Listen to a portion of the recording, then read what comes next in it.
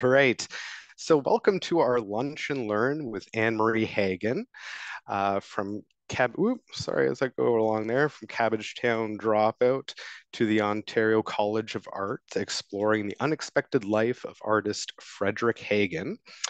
Um, this webinar is sponsored by the Varley McKay Art Foundation of Markham and also TD Bank. Um, here at the City of Markham and at the Varley Art Gallery, we like to just begin with a brief land acknowledgement. Um, so we acknowledge uh, the communities in Circle, the north, west, south, and eastern directions, the Haudenosaunee, Huron-Wendat, Anishinaabe, Seneca, Chippewa, and the current treaty holders, Mississaugas of the Credits people. We share the responsibility with the caretakers of this land to ensure that the dish is never empty and to restore relationships that are based on peace, friendship, and trust. We are committed to reconciliation, partnership, and enhanced understanding. Um, so before we get started uh, with Annemarie's uh, presentation, there's just a few things I'd like to point out for everyone. Um, we will be recording this webinar, uh, just to let everyone know that. There are closed captions available if you are interested. Um, you can enable these by going to the bottom taskbar of the uh, of the Zoom application, and you can turn on or off the, the captioning as needed.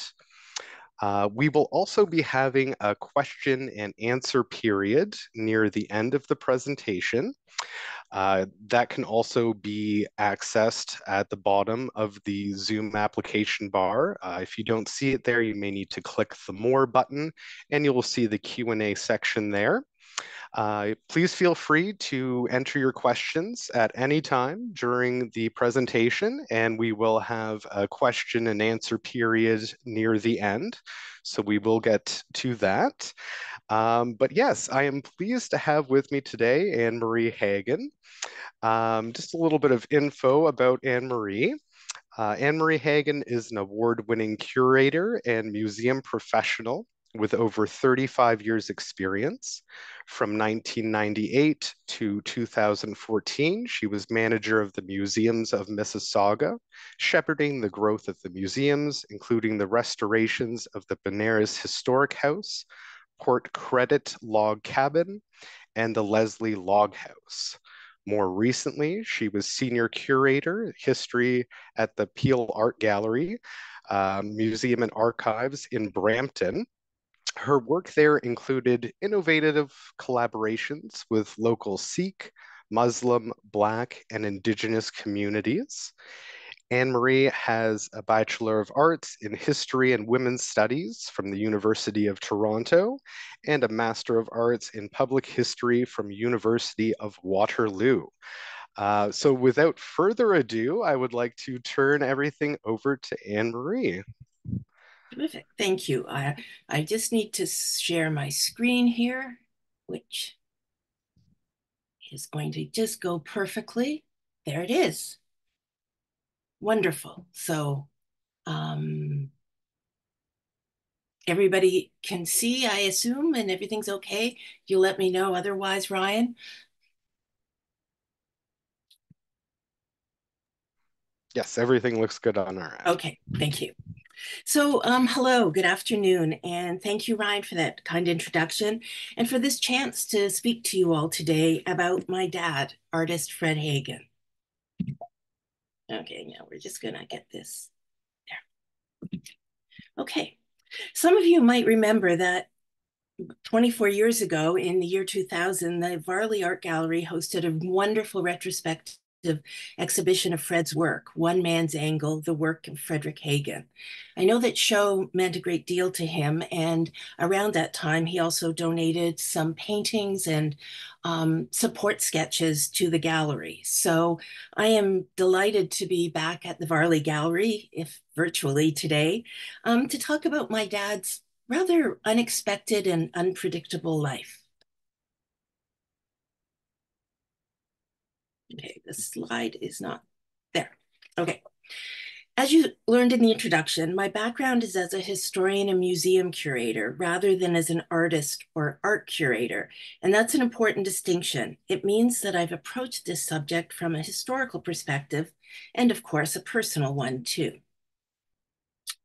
My understanding of my dad's life obviously begins with being one of his five children. Art and life were, were and are always intertwined in our family and that was and is mainly a wonderful thing, though it presents some interesting challenges. From the time I was very young, I've been fascinated with my dad's art and his creative process. I really cherished the chances I had to observe him working and later to actually help him curating a traveling show of his work and assisting with historical research on several projects. Now that I'm retired, I love having the time to dig into research to learn more about my dad, particularly his early years. Of course, I always knew the outline of his story, but the details were missing. In the 1930s, in the midst of the Depression, Fred had to quit school after grade 10 and take a factory job to help support his widowed mother and seven siblings. So, from that inauspicious start, how is it that he created a vibrant life as a respected Canadian artist, represented in major public collections, teacher at the Ontario College of Art, now known as OCAD-U. He was there for 37 years, and he created a series of stamps for Canada Post. That all seems rather unlikely somehow. But what I've come to understand and want to share with you today is that some very unique personal and historical factors, as well as important mentors, came together to allow Fred to create the artist life he had dreamt of since childhood. Um, in terms of the research sources that I'm using, as you might expect, our family holds art, photographs, and papers relating to my father. And um, if I've used those, they're identified on the slide as Hagan Family Collection. Some items, such as this etching, are in private collections, while many of the images are artworks that are held in public art collections. Anything such as this painting, which is marked Bau-Xi Gallery, um, is available for purchase at um, his dealer at his gallery in Toronto. And by the way, this is a painting that I just love. It's a great example of how family history and daily life were often wo woven together in my dad's art. Jenny Bell was my maternal grandmother, and this was our kitchen table. That's our kitchen floor when I was growing up in Newmarket. And these days, that table is still in the family. It's in the Toronto kitchen of one of my kids. As far as I know, neither of my parents ever owned a camera, so there are very few of the kind of family photographs that one might expect. But fortunately, my eldest brother Carl was interested in photography and studied it at Ryerson. Over the decades, Carl has created a rich photograph documentation of Fred at work. These are a few of Fred's exhibition catalogs. As well, there are dozens of reviews, interviews, and articles about him that have been published over the years. He's included in important works such as former AGO art curator Dennis Reid's A Concise History of Canadian Painting. Reid wrote that Fred had a quote, highly personal, some would say idiosyncratic artistic vision. And uh, Reid highlighted Fred's significant impacts on the history of Canadian art through his teaching at the Ontario College of Art. Another really important research source is Fred's handwritten, unpublished 1989 memoir, which he cryptically titled No Accounting for Art, an account of 50 years doing, meeting, talking, exhibiting in around Ontario, 1939 to 1989. He wrote this memoir while my, my mom, Isabel, was very ill with cancer. And I think he found it really helpful to deal with that, that sad and difficult time by immersing himself in the memories of the 50 wonderful years he'd had with my mom. In 2000, Fred donated that memoir and many of his papers to the Edward P. Taylor Library and Archives at the Art Gallery of Ontario, or AGO. And I found that collection to be very illuminating in trying to understand his life and work. And just in a beautiful bit of serendipity, one of my kids, Al Stanton Hagan, is now an archivist and they work at the AGO in the archives. I know that my dad would be just delighted by that, as am I. So, obviously, a key source of understanding Fred as an artist and a man is the vast body of work that he himself created over his lifetime. Here in his works, you find complex stories of his family of origin, his environment, his mentors, experiences, his demons, and his passions. You'll see that Fred worked in a wide variety of styles and mediums, including sketches such as this one of a street dance on a hot summer night in his Toronto neighborhood. He did this sketch when he was 21 years old. And then he took that sketch back to his studio in a garage in the backyard where it inspired this vibrant painting. And you can't really tell here, but it's a big painting. Our family is really thrilled that these two works, which Fred did, as I said, when he was a young man, were recently accepted into the City of Toronto's art collection. He also did so many watercolors, which were usually done outside while he was exploring his surroundings he did furniture design and built the furniture. Our Newmarket home was filled with with his furniture but these days his five children eight grandchildren and two great grandchildren we all enjoy bits and pieces of his furniture in our own homes and another uh, medium is printing using stone lithography. And lithography is really an, an important art form for Fred. So I will talk about that a bit later in detail. He captured an expansive range of subjects and styles in his art. Sometimes his work is just simple and lovely, such as watercolor of flowers that a neighbor brought over for my mom on her birthday in 1972. And sometimes his, his art is dark and haunting, such as Descent. And often his work defies easy definition. Recently, McLaren Art Center art curator Rachel Dietering wrote this of Fred. Quote, Working in a moment where abstraction has gained increasing popularity, Hagan remained committed to figuration, producing portraits of humanity that combined cubist, mannerist, expressionist, and even classical principles of composition, while ultimately creating his own unique style based in his personal existential questioning. So that is kind of an introduction to give you an idea of sort of how and why I've put this story about my dad's life together. And you've had a bit of an intro to his art. So let's go back to his beginning so that we can understand where this all came from. Robert Frederick Hagan was born in Toronto in 1918, the second child of Mary and Arthur Hagan, who lived on Ontario Street in the working class Cabbagetown neighborhood of Toronto. My grandfather Arthur was a carpenter and partner in the business in Ryan and Hagan. And growing up, Fred spent a lot of time at the carpentry shop, helping out and learning about the whole process of woodworking and design. Fred attended Dufferin Public School on Berkeley Street, but he didn't do very well there. I remember him talking to me about his his time at school and getting a strap every Friday when he's failed the weekly spelling test. But the one thing he did love about school were the field trips. As he wrote in his memoir, and I'm quoting, I had hoped to become an artist since about 10 years of age when I first saw the museum collection at the old normal school, and then the paintings at the art gallery, and I entered a world that I have rarely left. By the time Fred was 13 in 1931, there were eight children in the family, and tragedy struck. There was a um, diphtheria outbreak in Toronto, and Arthur died at the age of 37.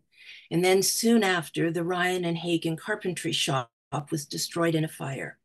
So Fred's mother, Mary, who was 33, was left to raise her children alone in the midst of the Depression. Fred attended Central Tech School for two years of high school. In current affair discussions, he began to learn about world politics, and that helped to plant the seeds of his left leaning worldviews. Central Tech had some amazing teachers there in their artistic program, including A.J. Casson and Doris McCarthy. But once Fred turned 16, he was expected to quit school to help his mom support the family. But by this point, Fred knew he had to become an artist. At home, he'd claimed a small bit of solitude by fixing up a little corner in the cellar in the basement so he could get away from the noise and bustle of the family.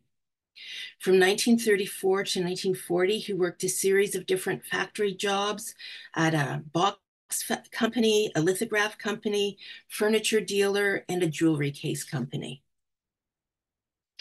In 1935, 17 year old Fred began to take evening drawing classes back at Central Tech.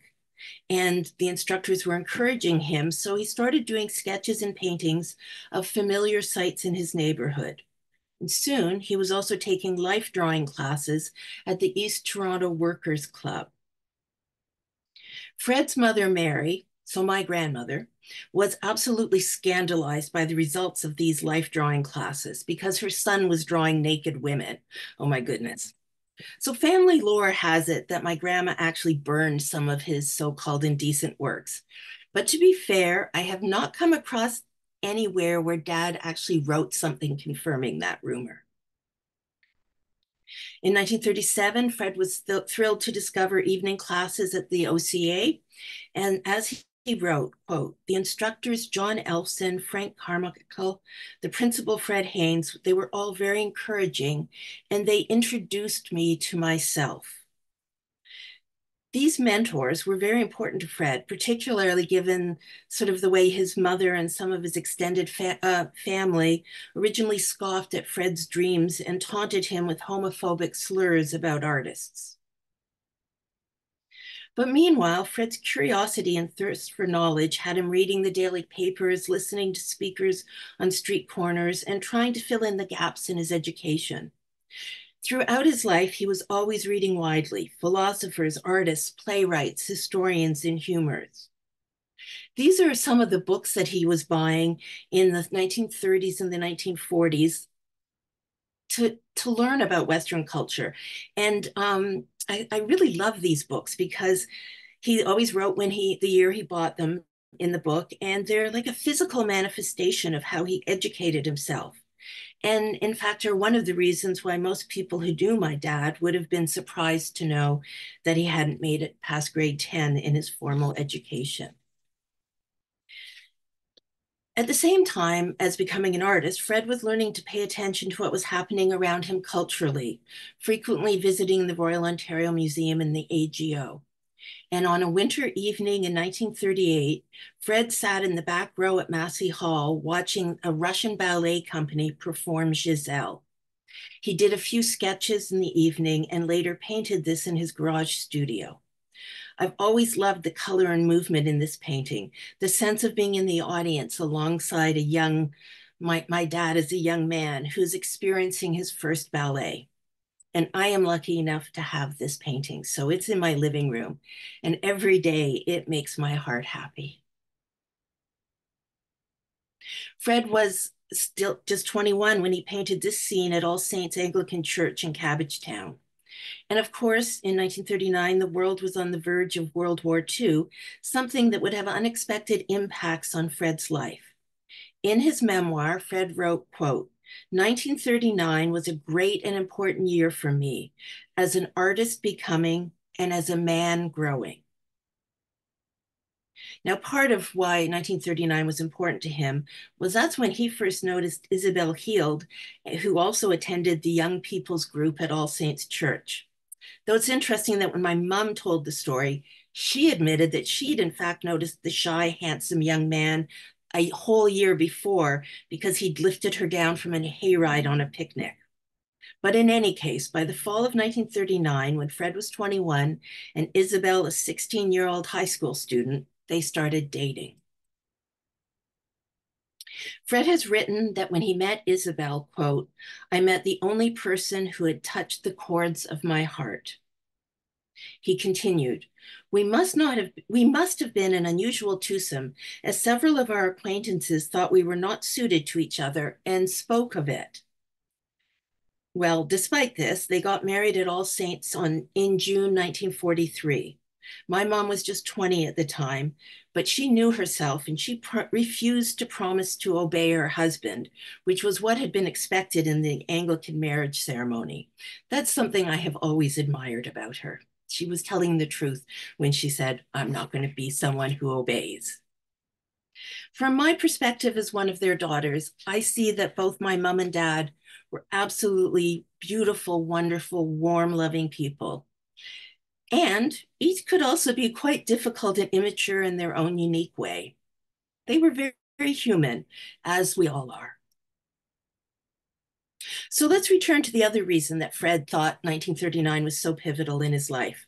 For the first time, one of his artworks was leaving the country and it was going to be exhibited at the New York World's Fair. As well, this painting, which depicts Fred's father's funeral, was included in the Royal Canadian Academy annual exhibition in Montreal.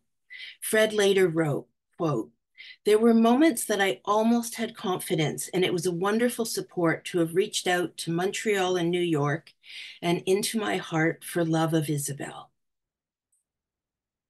My dad was 21 at the start of the war, and of course, like most young Canadian men of his generation, he enlisted to serve. Or I should say, he tried to enlist several times. However, he was always rejected. He's written uh, this about his first attempt to enlist. Um, quote, I had tried to enlist in the Air Force as soon as the war was declared, but they had no interest, nor had the Army. The combination of Glass's hernia and a recent loss of phalanges and a half from the first finger left hand, he lost part of his finger in his factory job, seemed to make me useless to the cause of assuring victory in our time. Since he'd been unable to enlist, the fall in the fall of 1940, Fred decided he was going to go to New York to take courses at the fabled Art Students League. He'd saved up his money, quit his factory job, and he was ready to go. And his mother's brother, who lived in Chicago, had agreed to sponsor Fred, which was something that was required for his entry to the United States. However, at the last minute, his uncle refused to sign the sponsorship form, so the trip had to be canceled. Fred was deeply disappointed and found himself unemployed and at loose ends. He decided to visit his father's aunt and uncle who lived at South River, close to Algonquin Park. He stayed there for six weeks alone in a cabin, painting the world around him every day. It was his first real experience of solitude, and he loved it. He later wrote, quote, the whole experience was, I think, essential, for I believe that I sorted out a lot of family feelings and came to live with myself with a little more intelligence. While in South River, Fred went to the nearby post office regularly, of course, hoping for letters from Isabel. And yes, he did get some of those. And he also received a letter telling him he was required to report immediately to the basic training camp in Newmarket, Ontario. Fred absolutely hated the experience of the training camp and felt suffocated in the army barracks. And yet, his being sent to Newmarket really changed the trajectory of his life in many ways. Many years later, he wrote, quote, I did not know myself very well, for I wanted to join in, be part of the experience of my generation, yet I felt alone, isolated, apart from the whole mechanics of collective activity.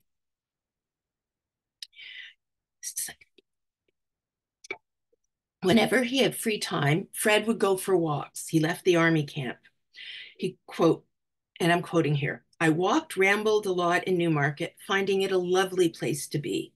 I had never really known a quiet town before, and the main street, Fairy Lake, tidy streets of comfortable looking homes quieted some of the range that I was manufacturing during the camp exercises. While at the training camp in Newmarket, Fred had an encounter with a fellow artist that was truly life changing. Quote, one day on Main Street, I saw Rudy Renzius recognizing him, for I had seen him demonstrating metalwork at the Canadian National Exhibition. I spoke to him. He was friendly, asking me to drop in to see him at his Pickering College shop. I did the next free evening that I had, and I was much impressed by what I saw the shop, the tools, the work. He then suggested going to his home. What a magnificent experience it was. I met Ingeborg, that's Rudy's wife, enjoyed their coffee, saw more books on art than I had before, and visited them several times to escape the camp life, sitting quietly with a book. At the end of basic training in December 1940, of course, most participants enlisted and were sent overseas. Fred tried to enlist and was turned down again. And he's written of, of this quote, this time it was also my mental attitude to group activities, end of quote. He returned to Toronto to live at home and to find another factory job. At least he'd be close to Isabel. And of course, he continued to sketch and paint on the streets of Toronto and in his backyard studio.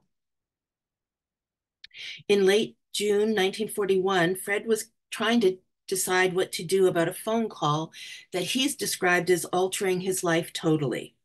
It was a call from the director of YMCA Boys Camp Pinecrest near Bala. The war was, of course, causing serious labor shortages, and the person they had originally hired to be the arts and crafts instructor at the camp had just enlisted, so the director was rather frantic. Fred had been strongly recommended by Rudy Renzius.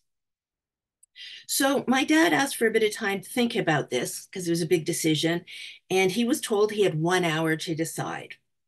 It was an exciting opportunity, but also a difficult decision because Fred liked his factory job at Clapworthy. He was making $23 a week with overtime, the most he'd ever made. And so Fred called Isabel to ask her for her advice, which was to, and I'm quoting my dad, quoting my mom here, saying, quote, do what you want to do, end of quote. Fred knew that his own mother would not appreciate him taking this drastic cut in pay, just sort of room and board and an honorarium. But still, Fred made the difficult decision to quit his job and go to Pinecrest. He later wrote, quote, in a few days, I knew I had decided well, for I met several great people. More, I could contribute to the camp life in a real way, being myself. At Pinecrest, Fred met crucial mentors and began really important lifelong friendships. He realized that he was having the opportunity to fill in a lot of the social and educational gaps that he had. Here he was, the inner city kid who'd never had the chance to go to camp himself, and he was now thriving at Pinecrest. Although Fred painted this work in the 1970s, it reflects something significant that happened at Pinecrest in the early 1940s that impacted his whole life. He was lying uh, in the sun on his stomach reading a book, and an arrow landed that someone had shot in the wrong direction, landed and went into the back of his leg. Um, he described it as hurting like all hell was around me. And no one else there was willing to pull out the arrow. So he, they were squeamish. He had to do it and um, that part of his leg gave him pain for for the rest of his life. It worsened in the 60s and he saw many doctors and had several surgeries but nothing really happened. And i really think that you know as you go through his writing and his art um, that pain really did impact his his life and and his behavior. It's not easy to live with with pain that haunts you going back to the Fred's first um, summer at Camp Pinecrest, one of the most important and wonderful people that he met that summer was C.R. Blackstock, commonly known as Blackie. And I did notice at the beginning that, in fact, um, Blackie's son Richard is here. So that is lovely. Um, and, and this painting in real life is so full of light and color. It's amazing. Um, Blackie was just one of several camp counselors who also taught at Pickering College, which was a private boys' school located in Newmarket. And Blackie ended up being my dad's best man, and he and his wife Nora were always friends of my parents. But here again, as I mentioned, there's a labor shortage and uh, the, with the war, and in particular, there was a real shortage of teachers. So by the end of Fred's first summer at Camp Pinecrest, Joe McCulley, the principal of Pickering, had offered Fred a job teaching art, and he had done this based on Blackie's and Rudy's recommendations. So think about it. Fred had a grade 10 education, and three months earlier, he'd been working in a factory, and now he's being offered a job at a private boys' school. It's rather head spinning. So Fred returned to Toronto to ponder the offer that would take him into a world he couldn't quite imagine. The annual salary was $700 plus room and board, and it was less than half of what he had been earning. So his mom thought this was a really bad move. Fred decided to go talk to one of his mentors, um, Fred Brigden, who was a respected landscape artist. And um, Brigden was also a member of the Royal Canadian Academy. He strongly advised Fred to turn down the offer at Pickering. Fred's, Brigden said that Joe McCulley, um, the principal at Pickering, was, and here I'm quoting from what my dad wrote about um, about this conversation, that Brigden said that McCulley was, quote, a hot-headed socialist with no good reputation among the people who counted. So, walking home after meeting with Brigden, Fred decided he was going to take the job at Pickering College. And he later wrote, I knew that I could expect no more than I had received from the respectable, conventional world of Toronto. I'd given up my hope of reaching the Art Students League, but now I had a chance to live with a group of educators who thought they were progressive and were suspected of being modern. Joe said he was happy I was coming up to Newmarket, that he had just accepted a number of youngsters from England, war or orphans, they were called, a variety of nationalities. So my dad had ignored the advice of his respected art world mentor, and certainly the advice of his mother, and he had chosen his own path. Path, and this decision has lasting repercussions. So what on earth was this place, Pickering College in Newmarket, that was supposed to be this hotbed of socialism in the midst of World War II? Well, the college actually dates back to 1842 when it was founded by the Society of Friends, the Quakers. And in 1942, the board of directors had hired Joe McCulley. Joe was an Oxford educated, up and coming educator who had some rather radical ideas in the time for the time. He really believed in art and the value of art in education. And he also felt it was really important to try to create in the boy, it was a boys' school, so that's why he's writing about boys, the desire for education and in having faith in the best of in every boy. In the 1930 Pickering College yearbook, The Voyageur, it was reported that, quote, during the past year, the headmaster has given much thought to the stimulation of interest in Canadian art. The school hosted an exhibition of work by Lawren Harris, a member of the group of seven. And in fact, Harris's son, Lawren Harris Jr., was a student at Pickering. In 1932, Joe created a very innovative creative arts department with an advisory committee that included Toronto artists such as Harris, um, Lismer, A.Y. Jackson, and sculptor Frances Loring. I love that there was a woman artist in that group. Four young artists of ability and promise were offered positions as fellows at Pickering, and this the committee helped um, um, Pickering choose those artists. The artists were given room and board in exchange for working in the craft shop, which was a place where the students were always welcome to putter, ask questions, learn, and, and create things. I suspect it was this unique arrangement in the midst of the Depression that led to Fred, Big Fred Brigden's comment about socialism at Pickering. In the fall of 1935, Pickering hired Rudy Renzius, who was a Swedish engineer and an artist craftsman who was now going to run the creative arts department.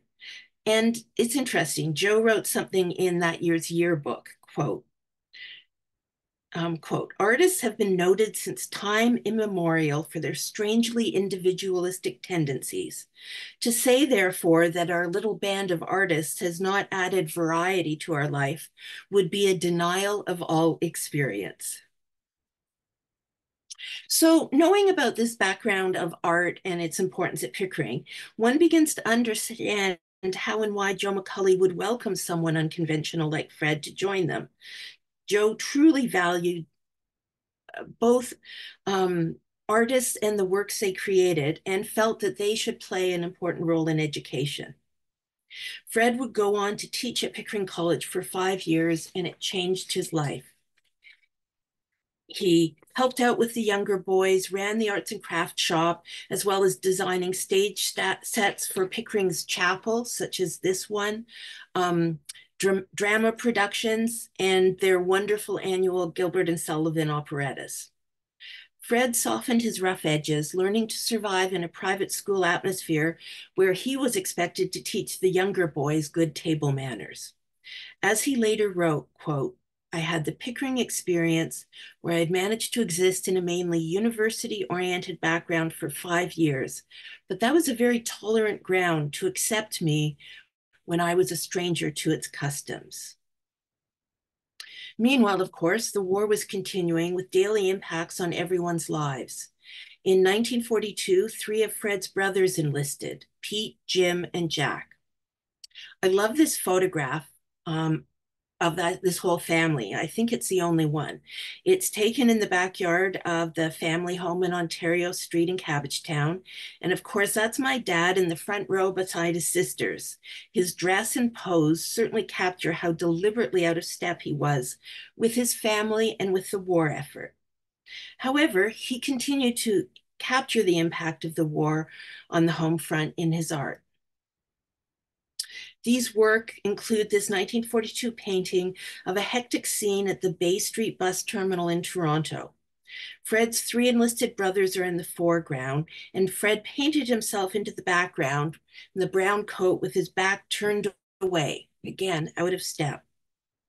This work was accepted into an Ontario Society of Artists traveling exhibit, and wonderfully, all three of my brothers, of his brothers who enlisted, were shown here, survived the war, and they all lived to ripe old ages.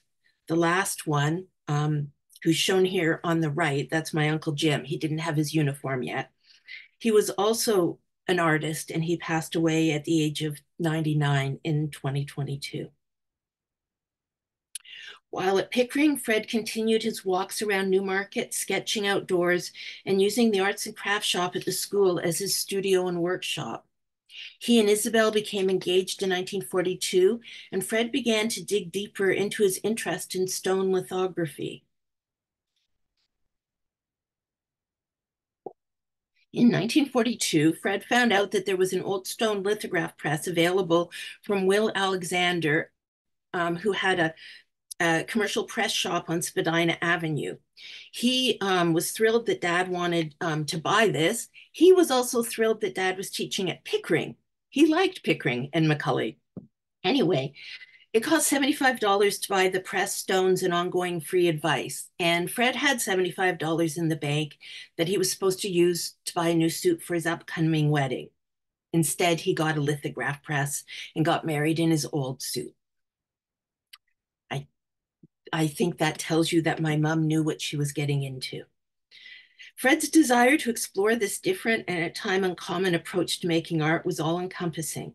Lithography was so central to his lifetime of teaching and making art that I want to just explain a little bit about it and then we'll go back to Fred's life.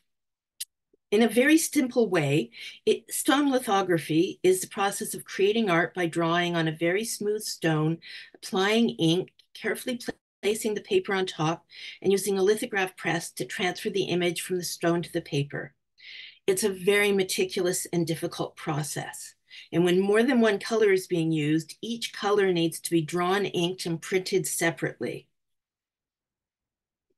Over the course of his lifetime, Fred created and printed over 500 distinct lithographs growing up, I did not realize it was weird to have a lithograph press in your basement.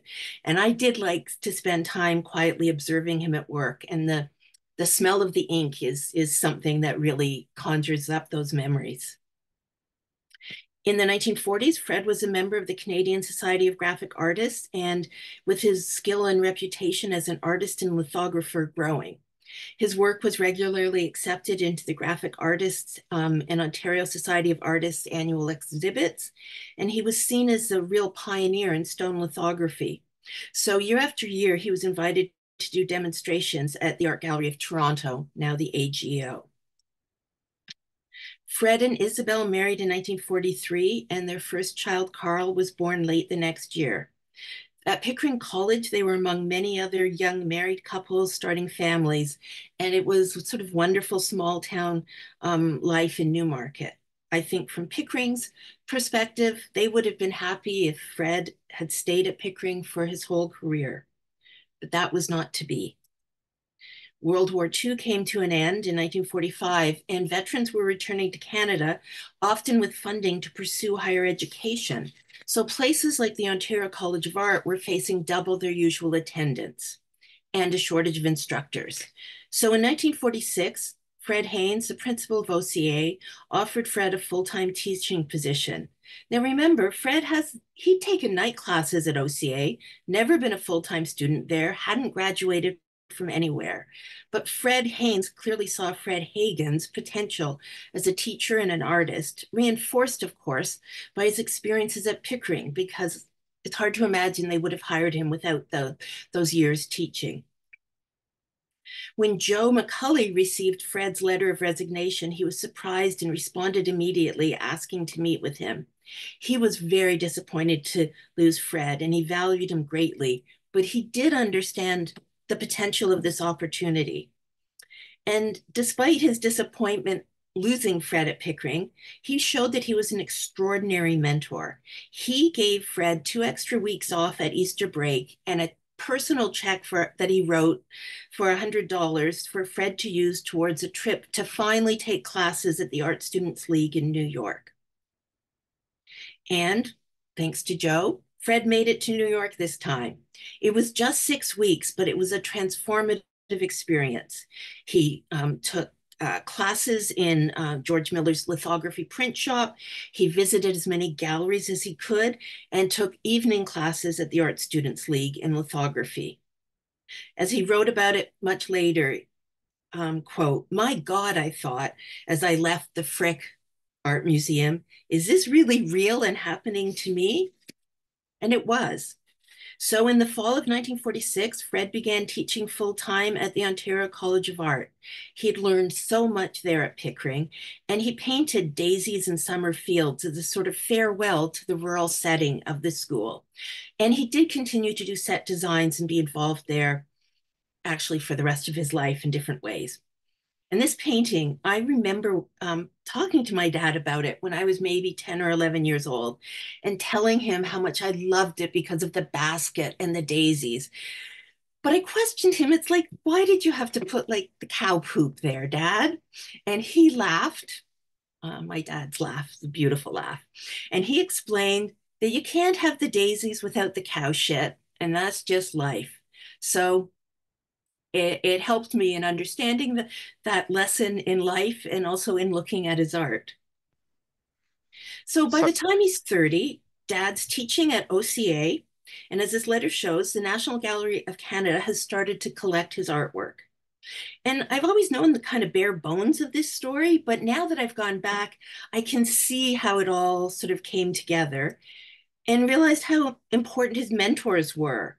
And I also can't help but wonder how different my dad's life might have been had he been able to enlist and served with the Canadian military, or if he'd turned down the chance to go to um, teach arts and crafts at Pinecrest, or if he'd followed Fred Big Brigden's advice to avoid those socialists at Pickering College. Instead, he carved his own unique path, which took him to teaching at OCA.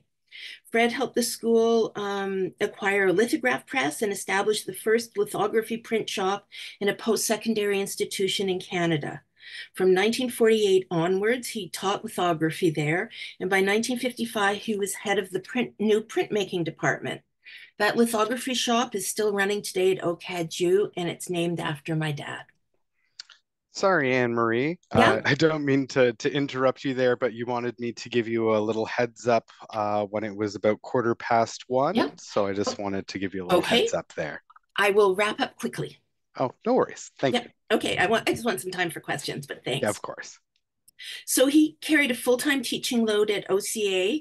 And um, as curator Dennis Reid has written, Fred produced, quote, a remarkable quantity of highly original figurative work in watercolors, oils, and lithography, in spite of a heavy teaching load that was effectively extended by the long daily commute to Newmarket, where he continued to live and maintain a studio. See, most of my dad's colleagues, artists, they had their studios and lived in Toronto. It was unusual that dad drove home to his wife and kids in Newmarket every day. The recognition of Fred's unique explorations of lithography continued, and in 1950, he was the only Canadian whose work was represented in the first International Biennial of Contemporary Color Lithography in Cincinnati, and he was there for many years. In 1955, suddenly, Fred and two of his OCA colleagues um, and dear friends, uh, Eric Freifeld and Harley Parker, were finding themselves being rejected by some of the Canadian and Ontario Art Association juried shows. So they decided, as young ups, starts to have their own exhibit. And it's a remarkable sign of Joe McCulley's faith in Fred and his belief in the importance of art that he agreed to host his controversial exhibit at Pickering College. And there were some letters to the editors in the pa Toronto papers about these upstarts. And, you know, that certainly contributed to my dad's reputation as a renegade. And, you know, Fred Brigden's in the Royal Canadian Academy and suspicious of dad. So when there was talk in the early 50s of dad maybe becoming a member of the academy, um, my father was excited and disappointed when the nomination didn't move forward. Meanwhile, at home, my mom was always a very practical, common sense partner, partner for my dad. She took on the responsibilities for the household, finances, raising the five of us, and she was always the hostess with the mostest, warmly welcoming guests to our home. My mom was sociable, smart, and funny, and very good at helping my dad smooth over some of his social anxieties. Through the 1960s, Fred continued to sort out his feelings about his life and himself through his art. His complex painting, Dundas Street Haunts, explores his journey from Dundas Street East in Cabbagetown, where he grew up, to the Dundas West world of OCA and the AGO. That last painting and then the next one were major studio works that Fred completed in the basement studio of our family home in Lundy's Lane in Newmarket. And um, my dad was always interested in history, and we had a family visit to the Sharon Temple in the early 1970s. And afterwards, he asked me to help him with his research. I was 11. Um, but I went to the Newmarket Public Library to get some books as requested on, on the rebel, rebellion leader, William Lyon Mackenzie. Except I came back with books on the Prime Minister, William Lyon Mackenzie King. So they're related, but two different people. So I had the wrong guy. Dad explained it and laughed and sent me back to the library to get the right books. So this is uh, my dad and my brother Kurt carrying that same painting to load it into the van um, for his first big solo retrospective um, in 1978 at the Grimsby Public Library called Hagan, the Mind in the Hand. It traveled to many galleries. And, you know, dad didn't give a damn about the establishment and he had little time and talent for marketing himself or schmoozing with the right people. But this, this exhibit was sort of the beginning of recognition um, in a wider way. After 37 years, Fred retired from OCA in 1983, and much of that decade was taken up with a commission from Canada Post to create 16 postage stamps commemorating the exploration of Canada. I was so lucky. I worked with him, helping him with his research and later curating a circulating exhibit about the stamps and also, he developed a lithograph portfolio, 55 lithographs on related topics. Um, I wish I had time to get into all that today, but they're kind of deserving of their own separate presentation. Fred received um, the Canadian Centennial uh, Medal in 1967, and then um, in uh, 1998, he received the Royal Canadian Medal, um, which is the highest medal the RCA can give to someone who's not a member. Remember, Fred Brigden probably stopped him from becoming a member. And uh, but now that the old guard had passed on, they wrote to him and offered him membership. So it's a, you know, it's into the 1980s. And my dad's response to them was short but not very sweet. He replied that when membership would have helped his career as a young artist, the Academy refused him. And he didn't like the fact that now that he was old and accomplished, they wanted him. So basically, in the letter, he told them to fuck off. So, given all that, I think it's kind of amazing that, you know, um, they did give him their highest honor uh, in a wonderful ceremony in Quebec City. When my dad died in 2003 at the age of 85, he was lauded in the obituary in the Globe and Mail with the heading, He painted what he believed in. And you know, it's a simple statement that sums things up, and I think he would have liked it had he still been around to see that. And in the obit obituary, they wrote, Mr. Hagan was immune to artistic fashions. His fierce dedication to his personal vision meant that he was never easy to classify. And that difficulty in classifying Fred's art is one of the reasons he's so interesting and remarkable, but it's also one of the reasons he didn't see more commercial or critical success. He was always true to himself and was uncompromising, and sometimes he was difficult. 20 years after his death, interest in my dad's work continues from both private collectors and public collections. Um, there was a great exhibit in the Old Town Hall Gallery in Newmarket in 2017. And last year, um, an exhibit and catalog produced by the MacLaren Arts Center in Barrie. Um, the Bau-Xi Gallery in Toronto is his dealer and continues to represent him. It's great. The town of, of Newmarket named a street after him. Fred Hagan Court and Cabbagetown Historical Society has put a, a nice plaque in front of the house he grew up in and the city of Toronto has created Hagan Lane. So those are really lovely ways in which he's remembered. Shortly before he died in 2003, my dad was reflecting on life, his life, and he told me, hey, I've had a good run. He was 85. And he said that, you know, he still remembered his very fir first visit to the art gallery and how it first felt to dream that maybe one day he could be an artist and that he could have works hanging in a gallery like that. Remarkably, he made that dream come true. And just as I wrap up, I want to share this because it is, I got to say personally, it's my favorite photo of my dad. This is us on the front veranda of our home on Lundy's Lane. And my twins, Al and Gemma, were just five months old here. And I just love the way he's interacting with them. And, you know, when my dad died in 2003, my kids, who are his youngest grandchildren, were 10. So that means all of his grandchildren have many wonderful memories of him. This final image is of a remarkable painting that is in the collection of the Varley Art Gallery and is currently on display in their summer solstice exhibit.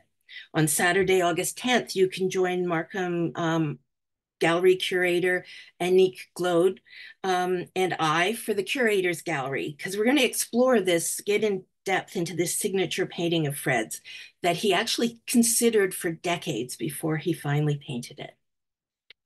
So thank you so much for the chance to share some of my dad's story. If you have any questions, I'm happy to answer them. Or if any of you have your own Fred stories, please, please share with us. Thank you. So I will stop my screen sharing. Okay. Perfect. Thank you so much, Annemarie. That was a Thank wonderful you. presentation. Um, I do see that we have some questions here. Um, so I guess I'll read out the question and I'll let you uh, do the answering. Do my best there. Okay, thank you. Okay. Um, our first question, does Annemarie remember watching her father work? What does she remember most about watching his practice develop?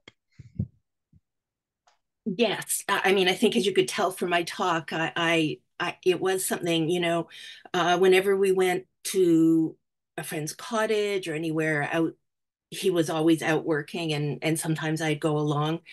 I really remember watching him work on lithographs, um, and the work is is required great concentration. I knew if I was down there, I needed to be quiet.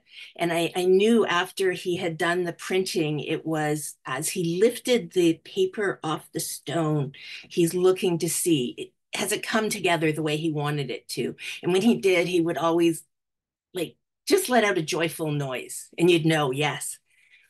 If it didn't, it would be a different kind of noise he would make. And I was a smart enough kid to know I'm just going to quietly go back upstairs right now because he'd be really mad at himself and very immersed in that. So, yeah, I, I didn't, I found him very approachable um, when he was in the right mood, but there were also times you're going to leave him alone doing his stuff. And and I would just add to that, uh, doing helping him with the research on the stamp project oh, was really an amazing experience. That was really fun. That was really fun.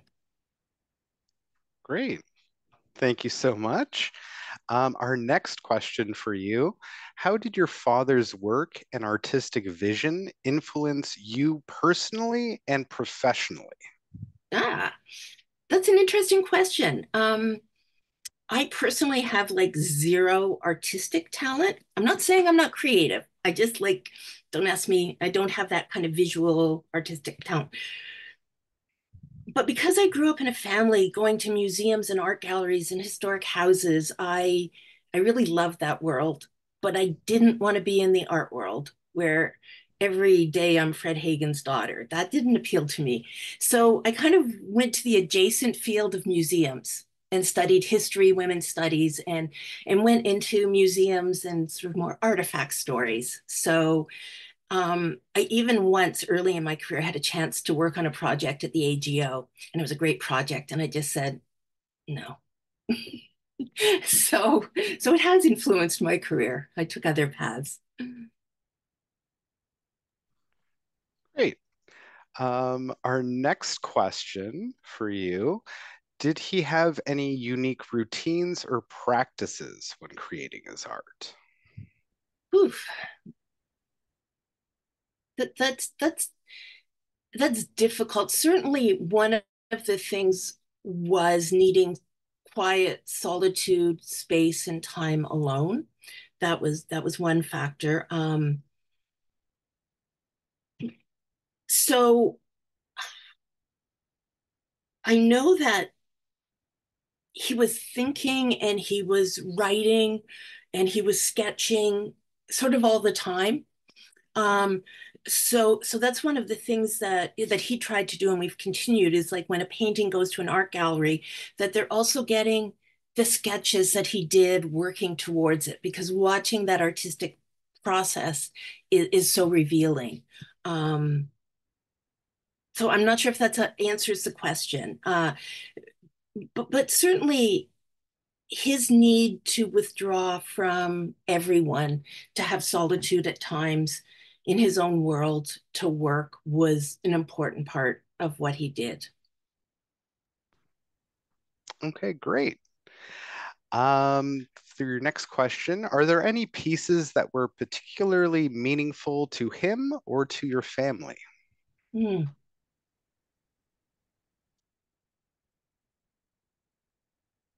probably every single member of the family would pick a different piece that has most meaning to them. Um, but I think homage, um, there was, if you remember early in my presentation, um, there were a couple photographs of him working on a, a really large painting. He was back after his retirement at OCA and, and um, working with some students and was given space where he could have a huge canvas. He'd always wanted to put a huge canvas in the living room, and my mother hadn't been all that keen on a, you know this huge canvas taking over the house. So so he was happy to do that at OCA, and I think that painting really he was really trying to capture the influences in his life, and that's now in the um, Art Gallery of Sudbury collection, and they have the studies for that. And I think because while he was working on that painting, he was actually living um, with me in Toronto because I lived like a know, a couple miles away from from the art gallery, and he would stay with us, sleep sleep with us, but get up, be walk to OCA, work there all day, and then come back and have dinner with us and tell us about the painting. So for me, that painting is is beautiful. I, I really, for me, I think um, I just briefly shared some of his furniture. His furniture pieces are, are all of us have some of his furniture. And um, there's a cradle that he made when Carl was born that all of his children and grandchildren um, slept in and have their names carved and name and date carved in it. So maybe again, I every every one of us would have different answers, um, but but those are my answers. Perfect. Um, did he have any particular themes or subjects he was uh, he was drawn to repeatedly? Hmm.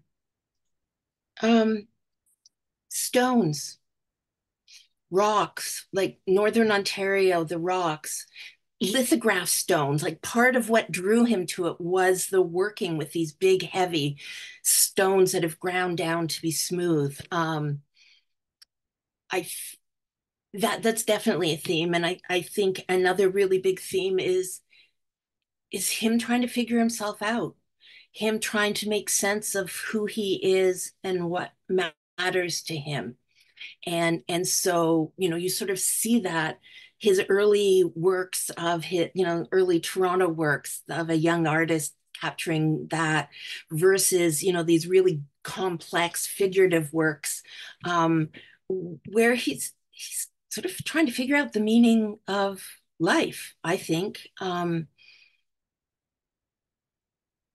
i mean there's a whole series of work in the 50s on the on the crucifixion a whole series of trying to understand the crucifixion and that meaning. So and descent is is connected to that. So so those are some of the themes that you find. And then he, he just he loved water and sky and you know, traveling and working in, in Northern Ontario um, really drew him. Awesome. Um, did he keep sketchbooks or journals to record his thoughts and ideas? He didn't use sketchbooks as much as loose paper for his his sketches, and then he he would keep those. And um, he he wrote a, a lot of his sort of day-to-day journaling over the years was on like three ring lined paper that sometimes it would have a date sometimes it wouldn't. And so in addition to his memoir that i mentioned there's all these jottings and they are at the art gallery of ontario archives.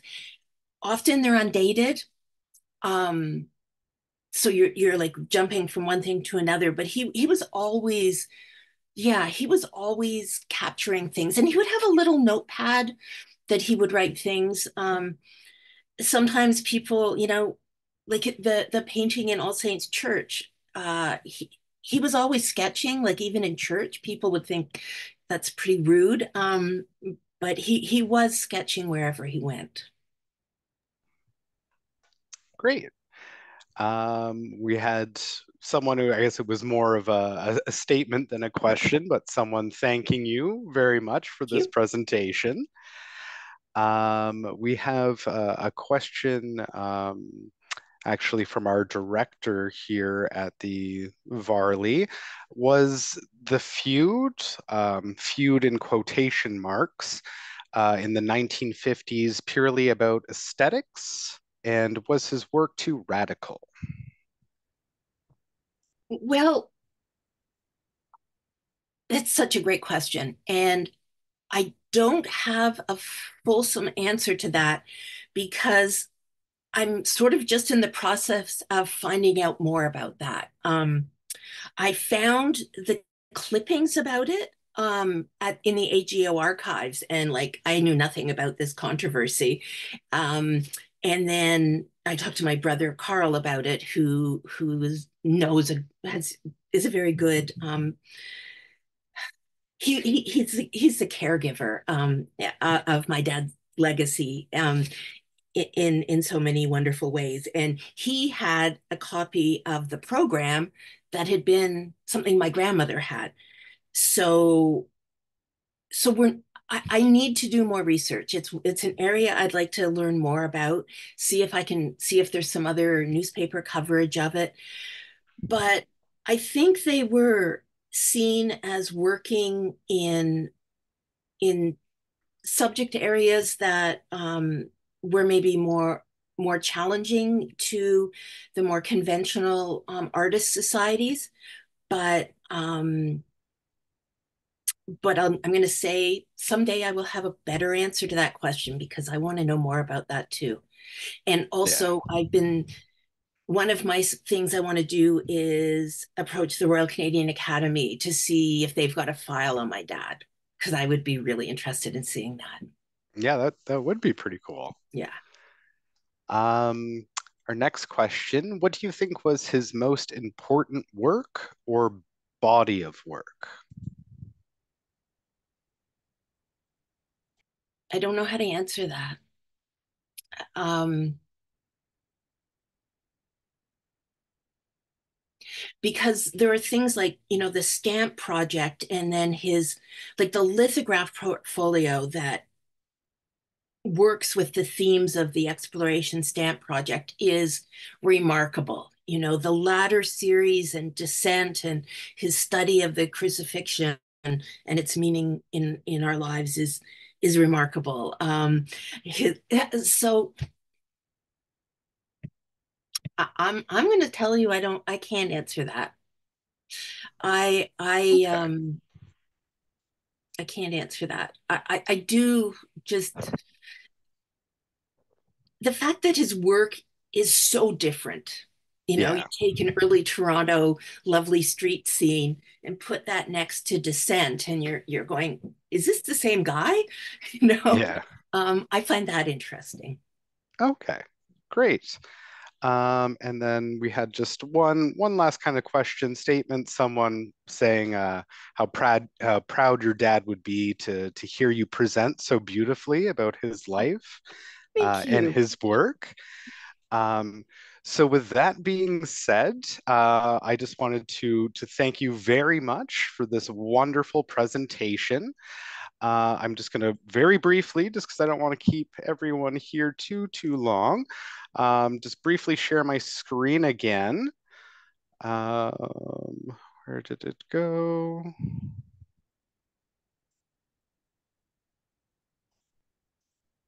There it is. Um, just to, um, as you alluded to before, just to promote your your um, upcoming uh, event here at the the Varley. Uh, so our curators corner, discovering art together on Saturday, August 10th from two to four o'clock. Uh, just to let everyone know that it is free and registration is not required. Um, but discover Canadian artistry at an in-person gallery talk. You'll gain unique perspectives uh, with Annemarie, and also uh, you will be able to join a guided exhibition tour led by our curator, Anik Glaude, uh, while exploring the significance of, uh, of Fred's piece, Boy in the Wilderness. Uh, light refreshments will be served, uh, and you can discuss the art with your fellow enthusiasts. Um, so yeah, I just wanted to to highlight your upcoming event. Uh, but thank you very much. That presentation was wonderful. Um, yeah, so I just wanted to thank you and thank you to everyone who joined us today. Mm-hmm. Um, this webinar has now concluded, so I hope that everyone enjoys the rest of their afternoon, and we look forward to seeing you at the, the Varley Art Gallery soon. Thanks so much. Thank you. Bye. Take care.